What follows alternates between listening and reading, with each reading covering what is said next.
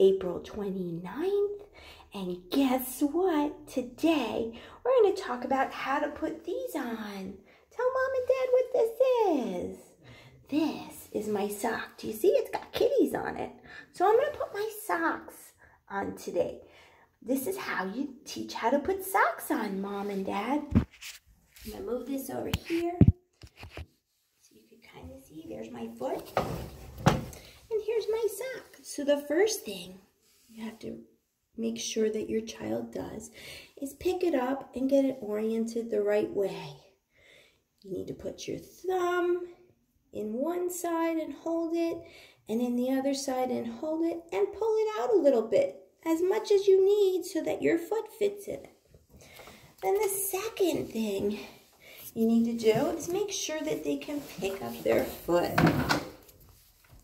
So watch me, I'm picking up my foot and I can cross it like this. And then it, I have access to it. Or I could pick it up like this and then reach down. So I'm gonna show both ways. This way requires a little more core strength in the belly. It's a little harder. This one requires a little more flexibility to be able to reach. Either one works. So you grab one side and then the other. You're going to pick up your foot. You have to get it over one side of the toes and the other side of the toes. And you need to pull, pull, pull, pull, pull. I picked this sock because it has a nice heel. It shows it where to go. Some socks don't have that. So you have to pay attention to what you're doing. Now that is how you put it on. If you have good core strength in your belly and you're able to, to uh, lift your leg while you're bent over. This way is for if you're going to um, have some flexibility. You pull your leg up here first. Then down here, I'm going to show you I grab it with one finger and the other finger. And then I'm going to put it on one toe and then all the way over to the other toe. Once it's on, I need to pull. And at this point, I can just hold my arm still and straighten my leg. And look, my sock is on. Now, parents, if your heel ends up in the wrong place, let me show that to you. If your heel ends up over here, and they can't just grab it and pull, you want to start teaching them where to hold it. So I have one with a heel here. So I know the heel must go in the back, guys. This heel needs to go back here. I'm going to hold it, hold it, cross my leg, and slide it on. Uh-oh, I'm halfway on and it's not exactly in the right spot. So I'm going to grab this and pull it on.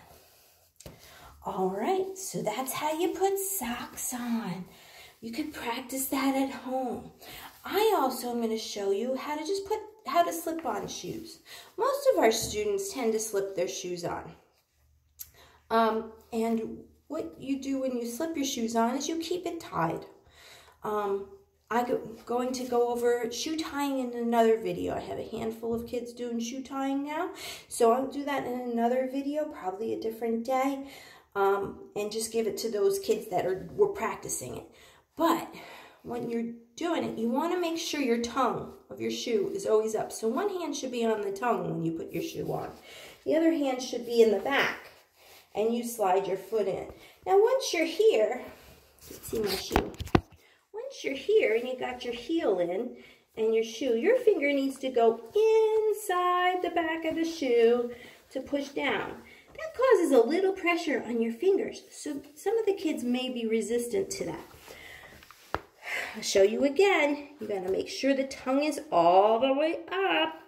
And then you need to make sure you're, you have it in the back.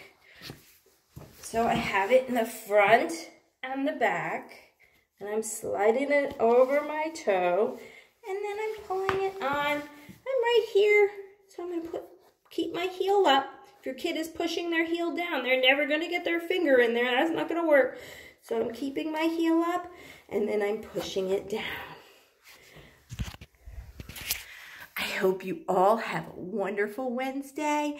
I miss you guys so much and I really can't wait to see you in person, but I hope you have a lot of fun with your families at home and that you're learning some good skills.